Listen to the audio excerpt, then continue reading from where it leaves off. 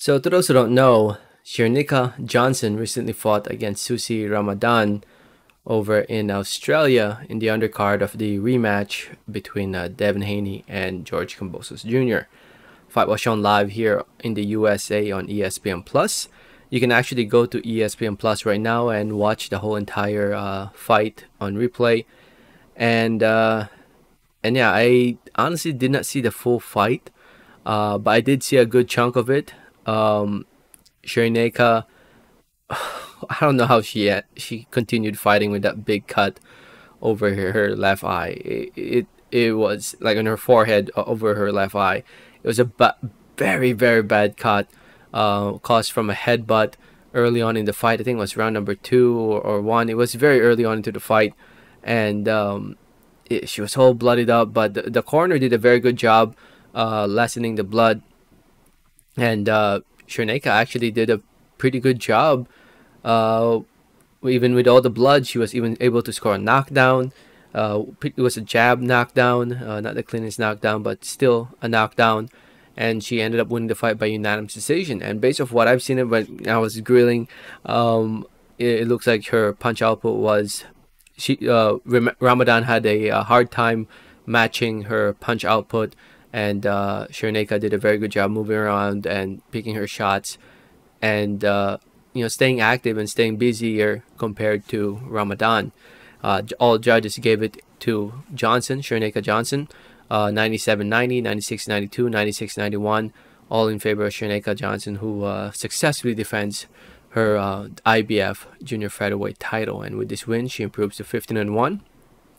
Six wins coming by way of knockout TKO and uh, she gave uh, Ramadan her uh, fourth loss in her pro career. Uh, Ramadan, um, she, she was looking more her age. Uh, I think that was expected going to this fight list. That's what I was expecting. Um, you know, with the inactivity she's had over the past couple years, uh, you know, her getting knocked down by just jabs shows that maybe, maybe at 43 years old, um, she doesn't have it anymore. And you can tell that she looks a lot older compared to when she was fighting, you know, she was a world champion all the way back in 2012, um, and 20, heck, even compared to when how she looked in 2018, you can tell that she's she's definitely aged, and um, you know, it's a passing of the torch. Uh, maybe it's time to hang it up for Ramadan, and uh, and yeah, and as for as for Cherneka, uh, what's next for her? Obviously, for every champion, um, I think every champion should try to unify or be undisputed. Uh, but after that cut, I guess time it's time to just rest and heal up, and uh, you know come back strong after that that bad cut heals up. It's a bad bad cut. I mean, look at that. That's not edited or anything. That that's literally this both photos right here are screenshots from the actual broadcast. She was really really bloodied up. This is this photo to the left is right right after the headbutt pretty much. It opened up just like that and then this is the end of the round of the the following round of uh, after the headbutt. It, it, she was really bloodied up, and the referee. I, I feel like the doctor could have easily stopped the fight and you know let the fight continue another day if Cherneka said that she couldn't see, um, but looks like Cherneka wanted to fight, and uh, we had ourselves a fight.